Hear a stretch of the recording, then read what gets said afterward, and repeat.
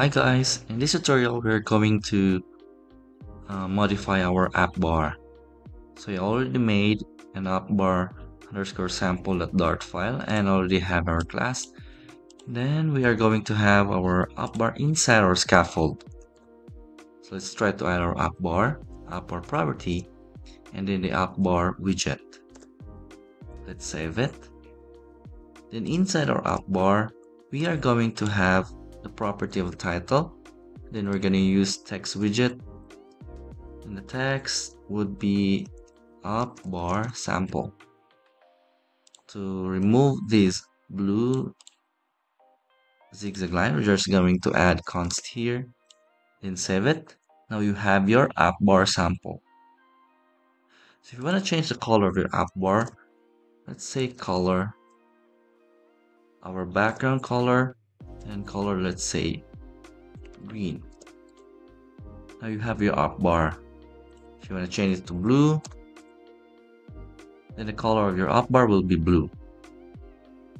Now let's try to modify the app bar by adding more properties and more widgets. So in this example, we are going to use the leading property of the app bar and then we're going to use drawer button widget. Save it. Now you have here a drawer button. Now if you want to add other um, widgets inside your app bar, still inside your app bar, we can use the property actions. Now inside the actions, we can have a list of widgets. We can have, for example, if you want to add um, an icon button or icon,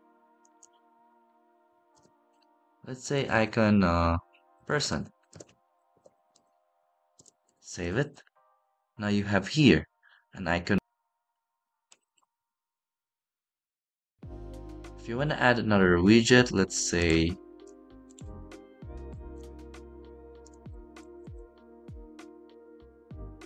let's search and then we'll save it. So you have here two icons on your app bar. Now what if you want this icon to navigate to another page? How are you going to do that? In your icon, you're just going to wrap that with another widget, which is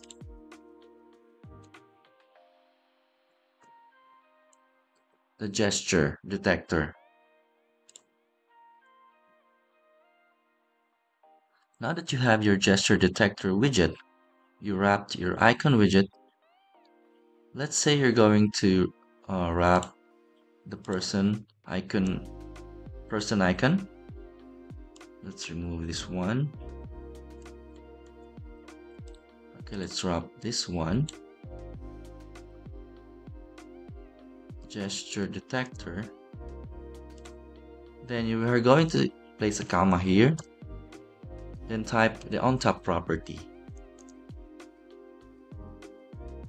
Now that we added the on tap property, we're going to use parentheses and the curly braces. Then inside the curly braces, we're, we're going to use the navigator dot push. Change the route to material page route.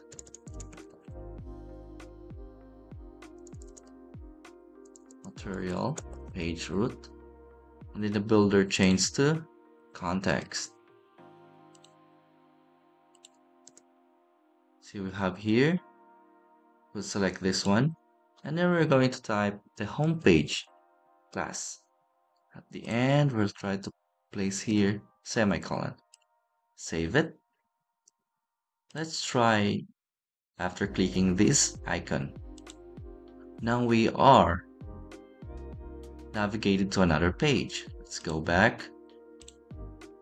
So that is how you add an on-tap property to the icons that you place on your app bar. I hope this tutorial was very helpful to you. See you on my next videos.